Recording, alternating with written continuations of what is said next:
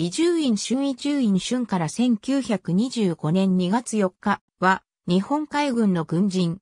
最終階級は海軍少将。鹿児島市長。鹿児島県出身。伊集院厚氏の息子として生まれる。1894年11月、海軍兵学校を卒業し、少尉候補生として、不装に乗り組み日清戦争に従軍。1895年12月に、海軍少尉任官。水雷術練習所で学んだ。1899年9月、海軍隊員に昇進し、笠木分隊長に就任。以後、大島航海長、佐世保水雷団水雷艇隊艇長、軍令部出資、新国南部出張、軍令部第三局局員、大本営海軍参謀などを歴任。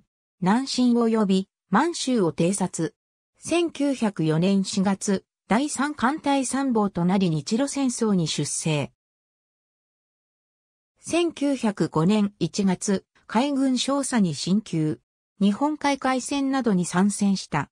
1905年12月、イギリス駐在に発令された。1908年7月、朝日水雷庁に就任。その後、南進艦隊参謀、第三艦隊参謀、軍令部参謀を経て、1909年10月、海軍中佐に進級した。同年11月、軍令部参謀兼参謀本部員となり、その後、朝日副長、県海軍法術学校教官、海軍水雷学校教官、軍令部参謀などを経て、1914年12月、海軍大佐に昇進した。